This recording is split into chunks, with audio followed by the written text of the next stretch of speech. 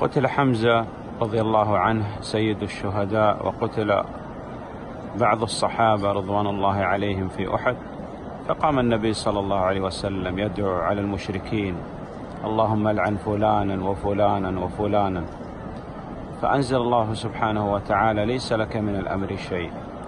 ماذا عسانا أن نصنع فيما حدث الآن في نيوزيلندا؟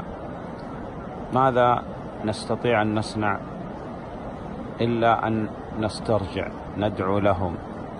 نجتهد في الدعوة إلى الله سبحانه وتعالى. لأن لو أردنا أن نقتل مثلا انتقاما لهؤلاء كم سنقتل؟ وكم تكون الفائدة؟ لكن الفائدة كل الفائدة في أن ندعو هؤلاء إلى الإسلام.